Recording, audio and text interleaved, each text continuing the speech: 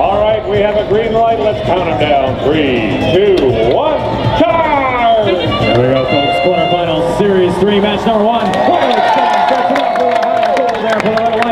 Joining them in the Blue Alliance's courtyard will be two Red Alliance robots making the cross on attempt at another high goal. That ball is going to fall short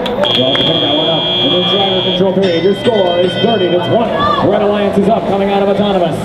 In blue, we've got two rookie teams joined by a remarkably accurate high goal shooter there, 46-55 stepping on the machine.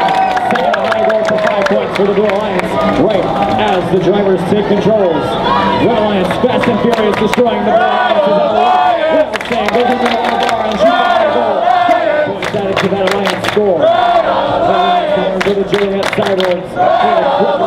Dwindling away those defenses. On the inside of the Blue Alliance of luck. Blue Alliance to just now two of their defenses. One is at half health with about a minute and a half left to play. Red Alliance out of work starting to fall there. Martin Motion able to take out the low bar defense on the right. Right after them, Ironclad gonna knock out the high, the rock wall defense. That looks like an inverse moat. Martin Motion gonna try to run it over for the last time and destroy that one. A minute and 10 seconds left to play.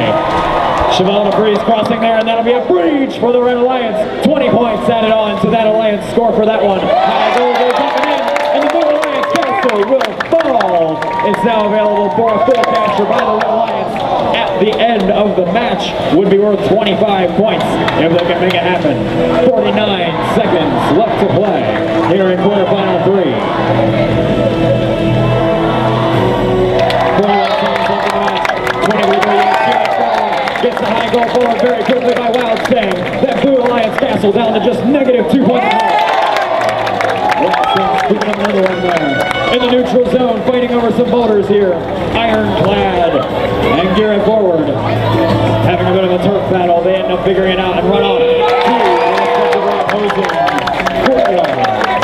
Red Alliance Castle still holding on at half strength there. Blue Alliance Castle has almost fully inverted